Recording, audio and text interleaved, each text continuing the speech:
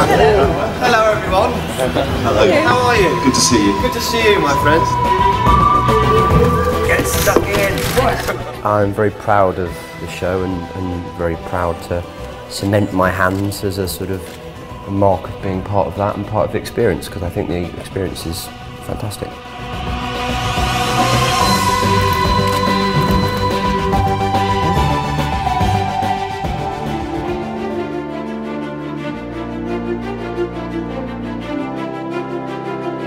If you're a Who fan, it, it really offers a lot because you can look at the sort of the breadth and the history of the show under one roof. I think that's quite fun.